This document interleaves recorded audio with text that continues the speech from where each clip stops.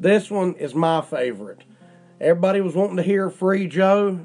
I did that one. Now we're going to do the one that's my favorite. This one is called Tigers and Meth. I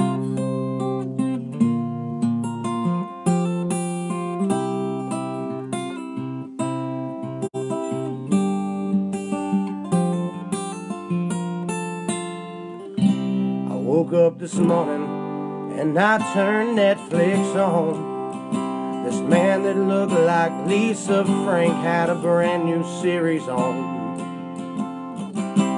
I watched the season and I wrote down this song about expired meat and this big zoo that he lived on. He's had tigers, he's had meth. Tried to bring that bitch Carole Baskin to her death.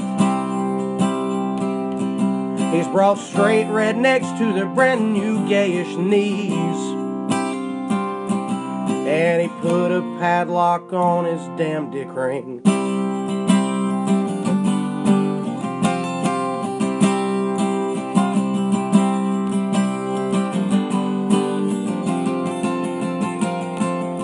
All these fuckers, they need Jesus and maybe a new life plan.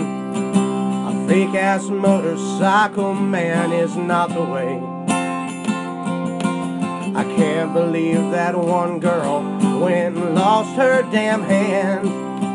And what's with all those straight men that he would turn gay? Oh, he's had tigers, he's had meth.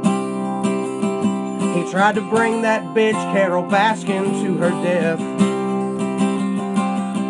He's brought straight rednecks to their brand new gayish knees.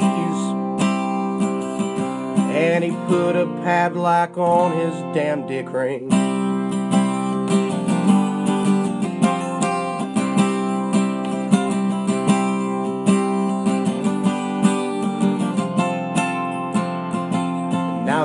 Doing time on the prison line for that hired gun.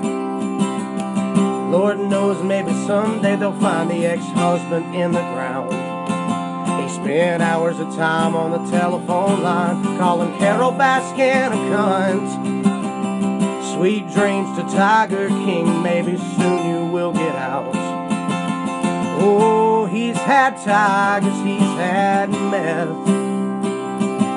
Tried to bring that bitch Carole Baskin to her death.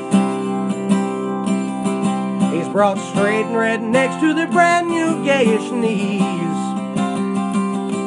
And he put a padlock on his damn dick ring.